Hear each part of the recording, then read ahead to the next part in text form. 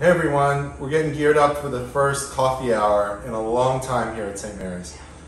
So Justin and I have been working on our coffee machine for weeks trying to get it clean and ready to go. So we're gonna do our first taste test. So Justin, let me have your cup. Now our ultimate taste tester will be Father Todd. He is a coffee connoisseur, I don't know if you know that.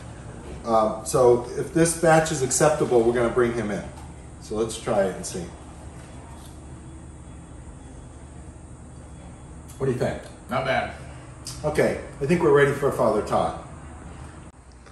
All right, so I got Father Todd here. He's our official coffee taster. I feel the weight, the burden of of this. So this is the this It is. the magic yeah, brew it- here. it's eh? ready for you to go. Yeah. All right, here we go. Here we go. You know, you're supposed to swirl and smell the aroma, the ambiance.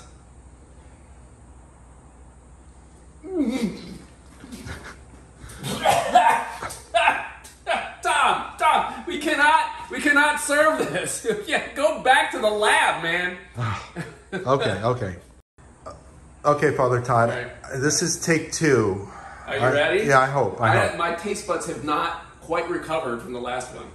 So, we okay? I'm sorry. All right, go You're ahead. Working yeah, on it. yeah. All right. I, I believe I believe in the barista in you. All right. Here you go. The aroma.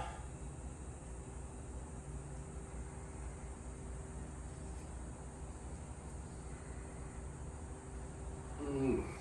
You know, so Tom, I love you like a brother, man. I love you. I'm invested in you. I want to see you succeed. And so, let's try it again, okay? We're on the right track.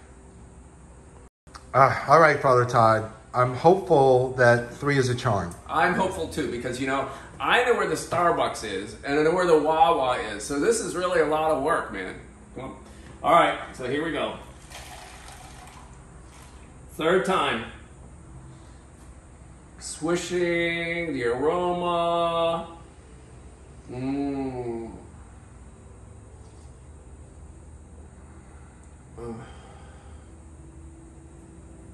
Tom. Tom. It's like my grandmother used to make. You're a wizard.